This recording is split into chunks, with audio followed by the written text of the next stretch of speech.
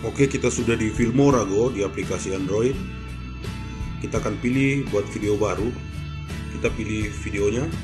Kita cari dulu video originalnya. Di sini kita akan potong klipnya dulu. Awalannya di sini.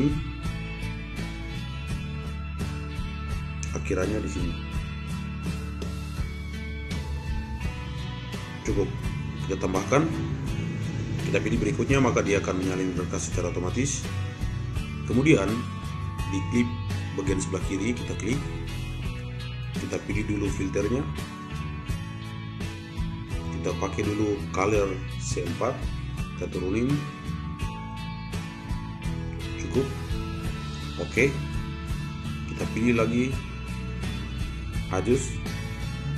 Kontrasnya kita turunin. Temperaturnya kita turunin Contrastnya kita naikkan full.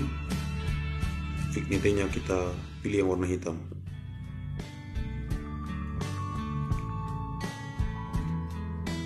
Untuk pencahayaan kita pilih min 19 atau minus 19 Kalau sudah kita klik OK. Kita klik OK lagi. Kemudian kita scroll ke bawah Kita edit alat. Kecepatan Kita pilih paling lambat kemudian kita klik OK. Sesudah itu kita pilih overlay kita akan pakai yang spring. Kemudian kita pakai winter 2 oke okay. oke okay lagi. Kemudian kita ke alat. Kita edit alat kita pilih filter di sini. Kita ambil preset. Kita pakai yang Laguna kita turunin kita naiki coba sesuaikan sesuai selera kita.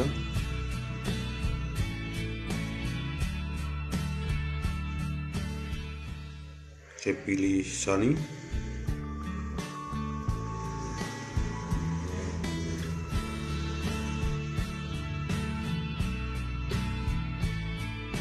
Oke. okay kemudian kita ke adjust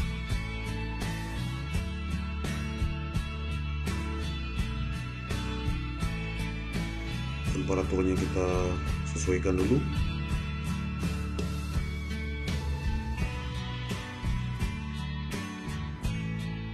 Oke kalau sudah kita pilih kontrasnya. Kemudian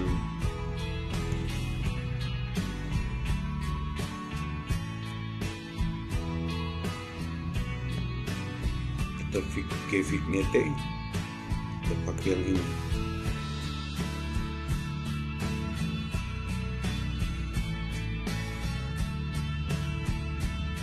klik OK.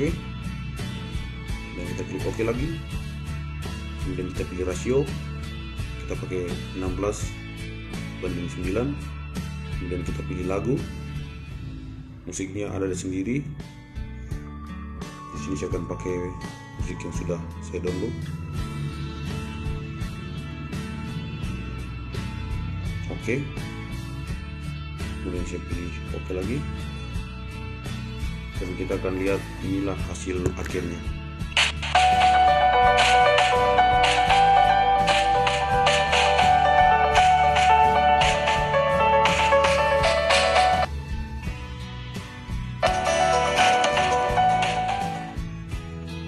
seperti di sini kita akan tambahkan lagi teksnya saya tidak memakai teks judul di sini tapi saya memakai subtitle biar lebih mudah. Saya tambahkan subtitlenya.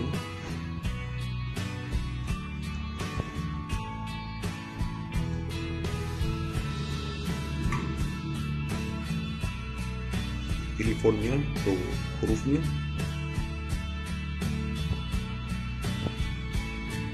Pilih warnanya memakai multi view kemudian oke okay, kalau sudah kita tinggal posisikan tempatnya di tengah-tengah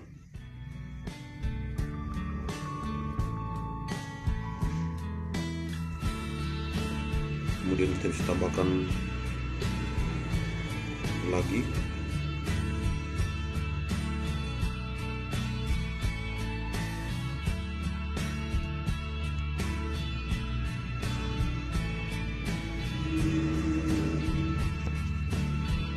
kita pilih hurufnya kita pilih warnanya kita pilih yang simple saja.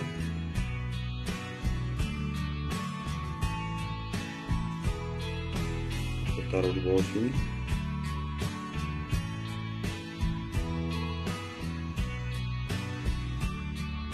Supaya kalian kalian mau tahu di mana.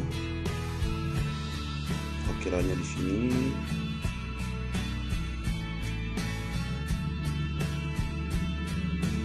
oke seperti ini kemudian ditambahkan lagi di akhiran thanks for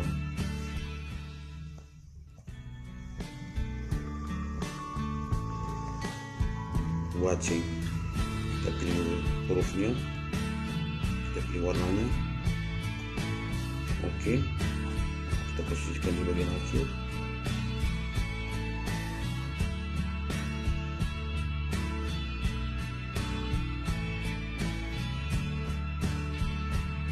sudah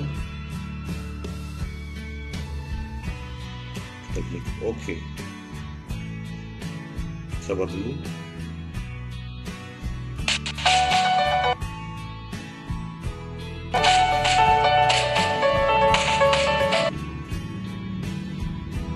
Maka ini adalah